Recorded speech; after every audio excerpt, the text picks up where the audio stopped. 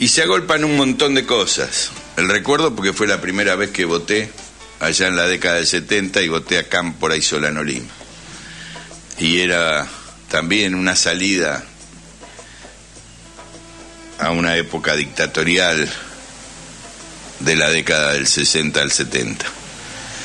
Eh, pero bueno, hay muchas cosas que tienen que ver y son hechos históricos aquellos que llegan hasta nuestros días con ideales, los setentistas, que no están siendo tenidos en cuenta por, por la política hoy en la Argentina. Y eso es un, una lástima, porque no darle continuidad a esos valores que costaron tantos muertos, desaparecidos, detenidos, este, en la década de 70 duele. Y todo empezó, parecía que se solucionaba con Cámpora y Solano Lima y la vuelta de Perón a la Argentina. Eso es para mí el 11 de marzo. Pero este 11 de marzo, a ver, vamos para a comentar cuatro, cinco, seis, las cosas que, que están agolpándose sobre, sobre nuestras cabezas, nuestros corazones. ¿Te gusta el cine? Si te gusta el cine, capaz que ayer te quedaste a ver los Oscars. Yo veo los Oscars porque a mí me gusta mucho el cine y los Oscars son un termómetro de lo que pasa en el mundo. Y vos dirás, no, bueno, pero eso es la industria, sí, sí, la industria que domina gran parte de la cabeza de los millones de habitantes que tiene por lo menos Occidente. Y entonces uno ve los Oscars, ve gente toda, eh, a ver, con sus mejores pilchas, luciendo y presentando vestidos, trajes, colores. Pero todo eso está como está también que la película que ganó Oppenheimer tiene que ver con la guerra, con la bomba atómica, con la capacidad de extinguir al mundo que tienen los seres humanos como no había sido nunca antes a este, al siglo XX y XXI. Nunca el mundo había estado en esa situación. Nunca había estado tan coordinado mundialmente y tampoco nunca había estado tan fragmentado, alimentando la fragmentación para que sea cada vez más violento. Entonces, de los Oscars, ¿qué destaco? Una sola y por suerte mención, se ve que hubo una movilización muy fuerte contra Israel a favor de Palestina y por eso los actores llegaron tarde. Tuvimos la suerte de que las cámaras enfocaran a un actor que tenía un escudito de Palestina. Dentro de todos los este, escuditos y prendedores y cosas que tenían luciendo muchos, uno de Palestina que lo enfocaron dos o tres veces. Se habló en una sola intervención, alguien muy nervioso que recibió un premio, dice voy a leer esto. Entonces leyó este, y se paró en el medio entre lo que empezó en octubre, dijo él, con Hamas, la violencia, y después esta violencia que desató Israel. Por lo menos eso se dijo ahí en los Oscars, que esto lo ven millones de personas pidiendo que se termine con esa violencia. Ese es un dato casi positivo. Te cuento que en los Oscars en la década del 60 y 70, hasta esa época no habían recibido los negros nunca un Oscar fue Sidney Poitier que recibió el primer, eh, el primer negro que recibió un Oscar con al maestro con cariño. Todo era una cuestión de blancos. Este, ahora ya se incorporaron los negros, los japoneses, las diversidades, las disidencias en lo que tiene que ver con las políticas de género, eso está. Inclusive una, una cargada Donald Trump, este es otro dato político, el que conducía el espectáculo de los Oscars, leyó en vivo un WhatsApp que le mandó Donald Trump. Él lo criticó a Donald Trump, pero le sirvió a Donald Trump para hacer su política. Sabemos que Donald Trump viene del mundo del espectáculo también. Una de las series más vistas, Friends, eh, cada dos por tres Donald Trump aparecía ahí. Esta es el mundo que tenemos. Dos octogenarios disputándose la, la conducción de Estados Unidos, Biden y Donald Trump. Y seguimos. Te cuento otra que tiene que ver, no vi a Boca para ver los Oscar, pero después me enteré que Boca ganó 4 a 2 y eso es lindo, te pone bien. Cavani hizo otro gol.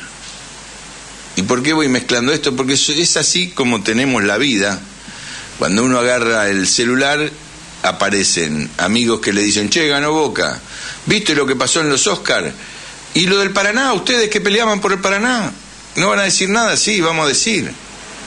Vamos a decir que ahora el cuerpo de ingenieros del ejército de Estados Unidos que cuida el Mississippi viene a cuidar, entre comillas, el Paraná. Y ahí ya está todo completo, porque que estén el cuerpo de ingenieros del ejército de Estados Unidos controlando lo que algunos le siguen llamando hidrovía, pero es el río Paraná, es meterse también, como lo va a hacer Bullrich, al ejército, a la DEA y a las Fuerzas Armadas de Estados Unidos para pelear con un grupo de narcotraficantes que están alimentados. ¿Ve cómo llega el, narco a Rosario? Llega por los barcos de la hidrovía. ¿Y hacia dónde va? Lo dijeron en el programa anterior, muy bien comentado en 7.0. Va a Ámsterdam, va a los grandes puertos. ¿Dónde? ¿Y por qué? ¿Por qué el Estado no controla? Ahora que le va a poner ejército para matar a los pibes. Para matar a los pibes de uno y otro lado. Pero no van a arreglar el tema. Van a militarizar Rosario y no van a resolver el problema porque esto ya pasó en México, ya pasó en todos lados. Es una maniobra de Estados Unidos para quedarse con el corazón de donde sale el 80% de la riqueza argentina, que no es Buenos Aires, sino que es Rosario, que es Santa Fe. Lo venimos denunciando de hace años que había que hacer el, canal Magdalena. No lo hicieron en el gobierno anterior. Este hace lo de Punta Indio con los belgas que controlan el puerto de Montevideo, Cato en Natí. Estamos en mano. La cuenca del Plata, el río Paraná, el río de la Plata, en manos extranjeras. Y ahora, como si todo esto fuera poco, va a ser controlado por Estados Unidos. Arreglate si viene un gobierno popular, ¿cómo hace para sacar todo eso? Ya no son privatizaciones, ya no son la base militar en, Malvinas, que ahora sabemos que va a ser el puerto de entrada a la Antártida, donde hay una gran riqueza y que nosotros estamos más devalidos que cualquiera, porque se sigue atacando a Tierra del Fuego, se sigue atacando todas las posibilidades. Estamos en guerra algunos me mandan información, sí, ya sé, no me sorprende. ¿Cómo no te sorprende? Sí, no me sorprende nada. Ganaron las fuerzas que están dispuestas a destruir el Estado Nacional Argentino. Cambio de régimen dentro del sistema capitalista, porque va a seguir siendo el sistema capitalista, sin mediación política, o sea, cagándose en todos los políticos, como bien dice Milei, que los mea, es un nido de ratas el Parlamento y la oposición, que es el Unión por la Patria, o lo que queda de eso, Cristina, Massa, eh, Máximo, quieren un acuerdo parlamentario. Si los tipos no quieren más acuerdo, fíjense, DNU hace todo lo que quiere, ya tendría que haber caído el DNU. No cayó porque ellos no quieren. Pero no importa, van haciendo todas las cosas que dice el DNU. Ley ómnibus, se cayó. Y siguen haciendo todas las cosas que tenía que ver con la ley ómnibus.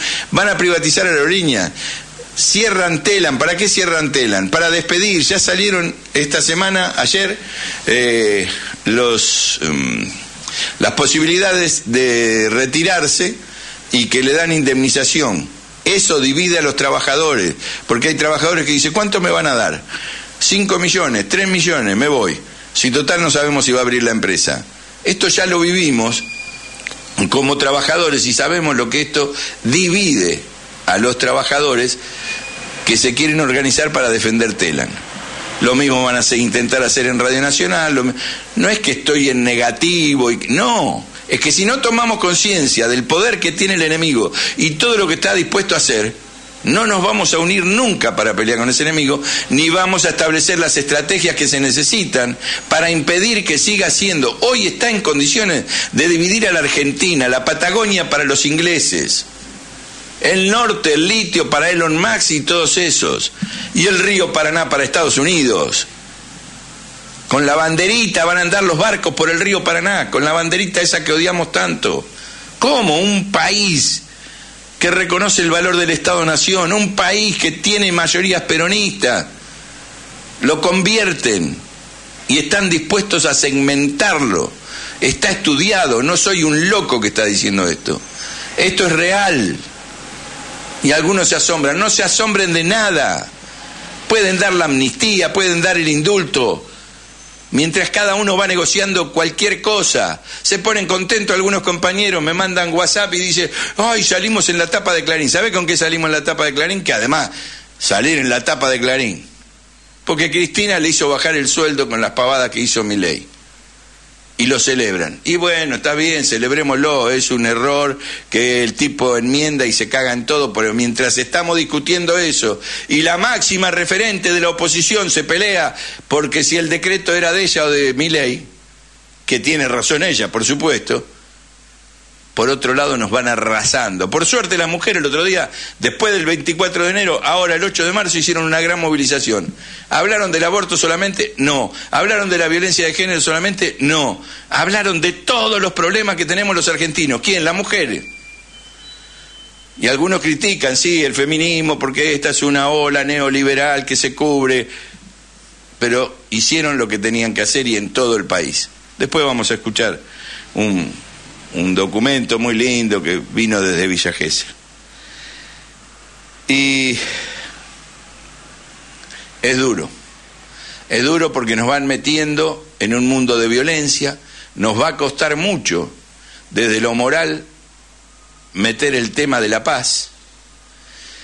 Y volviendo al tema de los Oscars, está todo tan bien guionado este mundo que le entregan un premio a un ucraniano que hizo un video, un documental sobre Mariupol, un lugar donde está la guerra. Ahí no se explicó nada, pero todos se pararon para, parar para aplaudir a un director ucraniano premiado. ¿Quién ganó? Ucrania, que está perdiendo la guerra con Rusia, pero en los Oscars queda así, como quedó en la historia que a los nazis los pararon los yanquis con las banderitas y los tanques de guerra que entraron en París. No, 27 millones de rusos murieron para que perdieran los nazis. 27 ofrendó el pueblo ruso. 27 millones. Y nosotros la historia la sigue escribiendo Estados Unidos, cada vez más débil, y entregando los premios Oscar a quien ellos consideran que tienen que seguir propagandizando un modelo que se cae a pedazos.